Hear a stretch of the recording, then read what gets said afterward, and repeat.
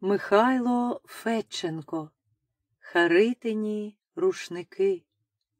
Час стирає в пам'яті давні події і вчинки хороших людей, які добро зичили, і до могилок яких стежки бур'янами поросли всупереч глузду здоровому, бо така вже невдячна та лукава доля людська.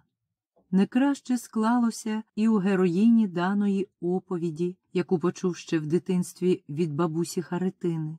Легенда це чи Бувальщина, важко тепер сказати. Забулися імена, прізвища, але про їх великий вклад у розвиток національної культури ми не повинні забувати. Тож нехай прискіпливий читач вибачить автору, що присвоїв невідомій героїні ім'я своєї бабусі. Засяяли поодинокі зірочки на небі, крадучись, виглянув із за обрію місяць, великий і круглий. Перестали гомоніти з вітерцем дерева, бо той, мабуть, стомився за довгий день, ладнаючи по-своєму і скирти соломи, і копиці сіна, і солом'яні стріхи, і ганяючи хвилі, чи розгладжуючи зморшки ряботиння на реті. Кожен вечір над рікою лунала журлива пісня дівоча, яка і серце краяла, і душу виймала, і сльозою вмивала. Ой, Михасику коханий, як же мені жити, бо нема кому жаданий бідну захистити. Тисне серце моє туга у знемозі ночі, жду свого милого друга, проплакавши очі. Минуло півроку, як пішов Михась на війну, засумувала Харитя, ні чутки, ні гадки від коханого.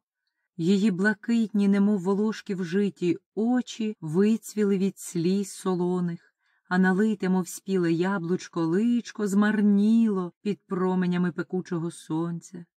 Чи прийде коханий живим і здоровим, чи обніме та поцілує, чи косу розплете? Кожного разу опівночі Харитя відчиняла навсі ж двері і, тримаючи в руці свічку, кликала свого коханого. Ти йди до мене, соколе ясний, не по одній дорозі, а по усіх разом. Слухайся розумного наказу. Ось тобі мій поріг, де тобі бути, де тобі жити. Раб Божий Михасику, іди до мене. Я перед тобою стою, жду тебе сьогодні. Батько й мати не знали вже, що й робити з донькою. Заспокоювали, розраджували, але все марно було. Підмовили вони якось Харитю піти в інше село до чаклунки, щоб та чари зняла з неї любовні. Принесла чаклунка в хату березове поліно, наговорила на нього. Не плач туго, не ридай, туго, іди туго до раба Божого Михасика, у його біле тіло та жваве серце. Нехай він страждає і ридає, і без мене помирає. Наговорила вона на березове поліно та порубала його, піч розтопила.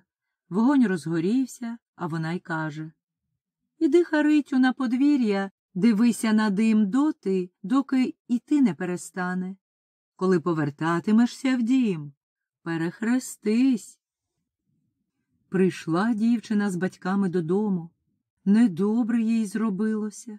Їсти не їсть, пити не п'є. Голова ніби віхтями набита, ніяких тобі думок. Вперше за ці півроку вона не співала, у відкриті двері не кликала коханого, заховалася під ковдрою у ліжку і два дні не прокидалася. У напруженій праці людина не помічає плин часу, який вперто наближає її до думки про недоцільність життя. Важко іноді зрозуміти, навіщо вона живе, так забагато працює страждає. Хариті за роботою ніколи було над цим замислюватися. Про Михасика навіть не згадала ні разу. Чимо то чари чаклунки на неї подіяли так. Та якось надвечір прибігло на поле дівча, онука діда Микити. Харитю, Михасика привезли, сказало. Від несподіванки Харитя ніяк зрозуміти не могла. Якщо Михасик повернувся, то чому привезли? Привезли, привезли, безперервно прокручувалося у голові. Раптом якась гаряча хвиля прокотилась по тілу, ударила в мозок. Страхітлива звістка нарешті дійшла до свідомості її. Михасику. прорізав надвечірню тишу моторошний крик Хариті, і вона навпростець, не помічаючи нічого перед собою, побігла до домівки коханого. Нехай він страждає і ридає, і без мене помирає. Згадалися чомусь слова старої чаклунки. Не помирай, Михасику. Посеред двору стояв віз, на ньому домовина із свіжої пахучої соснової дошки. З хати, витираючи заплакані очі, виходили близькі та далекі родичі, сусіди небіжчика, збиралися в окремі гурти, про щось тихо розмовляли. Коли побачили Харитю, затихли, з співчуттям і цікавістю поглядаючи на неї. Їй стало страшно, страшно зустрічатися зі своїм коханим, торкнутися до його холодного чола. Ледве на рундук зіп'ялася, ледве хатній поріг переступила, та до лави, де він лежав, допленталась, і навіть не впізнала його, свого Михасика. Як же ти довго, любий мій, ішов додому, щоб так зів'янув? Якби не люди, що вчасно підхопили її, мов підрубане дерево, на долівку впала б. Посадили Харитю на табуретку біля стіни і жахнулися. Людина невидимка, та й годі. Лише одяг, у який була вона вдягнена, відрізнявся від тієї стіни. Заметушилися жінки біля Михасика, помили задубіле тіло у дерев'яних ночвах, одягли в новий парубоцький костюм, який перед заручинами купили, постелили м'яку постілю домовині, подушечку, що Харитя вишила вигадливими візерунками, під голову поклали, та в руки свічку втиснули. На дворі зовсім смеркло. Вогники свічки та лампадки біля образів давали достатньо світла в хаті. Глянула дівчина, на лаві рушник лежить. Хтось Михасикову рану від ворожої шаблюки ним перев'язував. Рушник той у руки взяла, і чи то привиділось їй, чи, можливо, дійсно таке й було насправді, але на червоному від крові полотнищі сяючі зірочки побачила. Чумацький шлях, який був усіяний чудернацькими квітами, гербами, і який наче кликав кудись у незвіданий казковий світ. Притулила до грудей рушник та так і завмерла аж до самого ранку. Мовчазна, ні єдиної сльозинки не проронила. Як тільки сонечко на обрії зажевріло, несподівано до хати зайшла чаклунка. На небіжчика поглянула, похитала головою, до Хариті підійшла, взяла її руки в свої та мовила.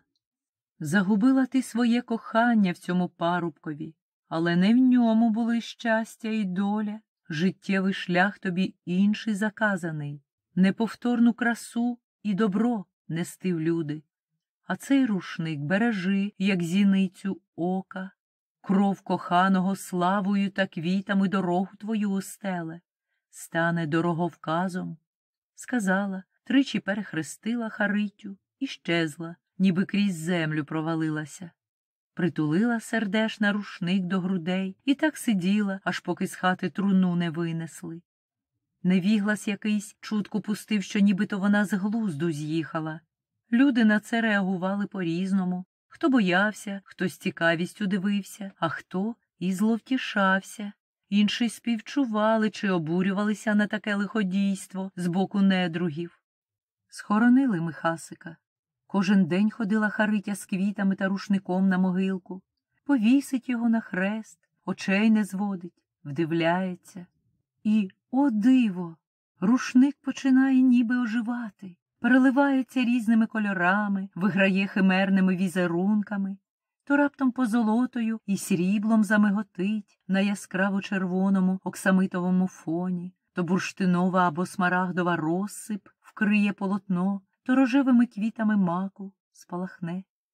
Підхопиться Харитя, мерщій додому біжить, за верстать сідає, і че, і че оте, що уздріла на могилі коханого, а з-під човника гідна подиву мальовнича візерункова симфонія по полотну солов'їною піснею щастя бринить. Там над реттю зозуленька на вербі кувала, а калина під вербою на хмеля гадала, прислухалась, щоб лічити, чи довго ще жити, та замовкла зозуленька, зашуміло жито. Зашуміло, немов в морі покотились хвилі, розгулятись хочуть в волю, поміряти силу, і затихла. Лише гомін в діброві гуляє, хміль цілує тугі грона, калину вмовляє. Ось і місяць із-за хмарки підморгнув калині, бо хміль коси розпускає ген по всій долині. Заспівав десь соловейко, другий йому вторить.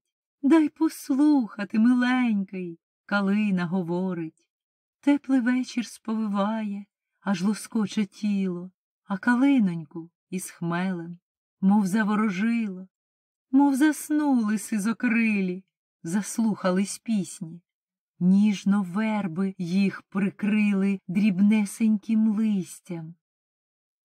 Дивуються люди красі такій, надивитися не можуть. І пішла слава по світові про пригарні харитині рушники, які опісля назвуть кролевецькими. 2002 рік. Село Алтинівка. Читала Лілія Мироненко.